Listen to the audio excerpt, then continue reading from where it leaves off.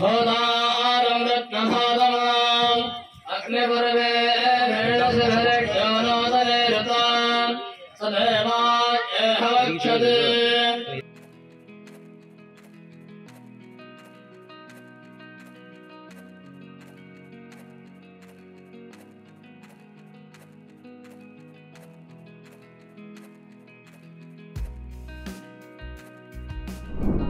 এটা মূল উদ্দেশ্য হচ্ছে ছেলে এবং মেয়ের মধ্যে যাতে কোনো পার্থক্য না থাকে।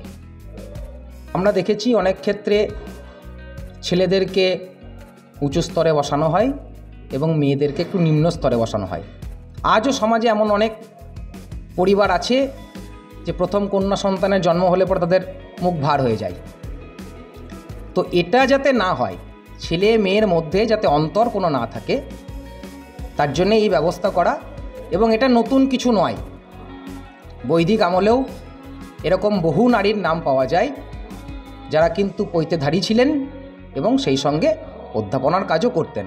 আজ থেকে ন বছর আগে এই যার আজকে পৈতে হচ্ছে, কৈরবী ব্যানার্জি, তার দাদাই মানে আমার বাবা, এর যখন মুখে ভাত হয়, অন্নপ্রাশন তখন নিয়ম হচ্ছে যে ছেলেদের নান্নিমুখ এবং সেই সঙ্গে যোগ্য হবে। আর মেয়েদের নান্নিমুখ এবং যোগ্য হবে না। তো আমার বাবা এটার প্রতিবাদ করেছিল যার আজকে পইতে তার ক্ষেত্রে মুখে ভাতের সমাতে নান্নিমুখ এবং যোগ্য দুটোই করেছিলাম। এবং তখন থেকেই আমাদের মনে একটা সুপ্ত ইচ্ছে ছিল আর কি যে আমরা মেয়ের পইতে ধুমধামের সঙ্গেই দেবো।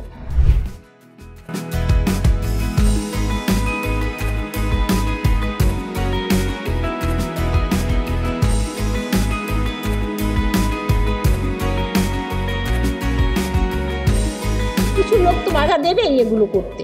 আর কিছু লোক তো যারা শিক্ষিত, তারা তো অনেকেই হচ্ছে না, খুব ভালো কাজ হচ্ছে। এই যুগে দাঁড়িয়ে মেয়েদের পইতে দেওয়া হচ্ছে। মেয়েদের এত উঁচুতে ওঠানো হচ্ছে। অনেকেই ভালো বলছে।